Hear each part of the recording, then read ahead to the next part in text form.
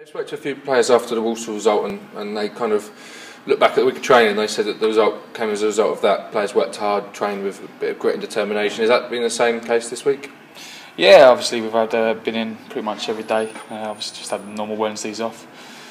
Um, and we've been, you know, on the training pitch every day, working hard. You know, the intensity's been up, um, and you know, I think it showed on Saturday how well we can actually play. Uh, obviously, I imagine you were absolutely delighted to keep a clean sheet, and obviously the complete to round off the keep, complete performance. You saved a penalty.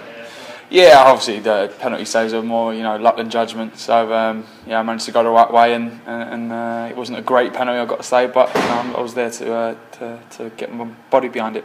But there's been, you know, there's been an obvious, obvious improvement. Um, I think anyway. If you if you look at the last couple of games, I know Tranmere you conceded late on, but you didn't look like conceding throughout the game, and, and obviously Walsall as well was a good defensive performance. So there has been an improvement considering the goals, and you know, Major spoke about the goals that have been conceded recently.